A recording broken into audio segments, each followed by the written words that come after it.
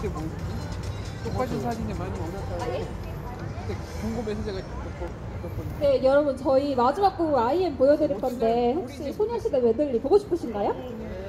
해요. 네. 네, 그럼 네. 네, 괜찮아요. 그럼 아이엠 보여드리고 마지막으로 소녀시대 메들리 보여드리고 저희는 마치도록 하겠습니다.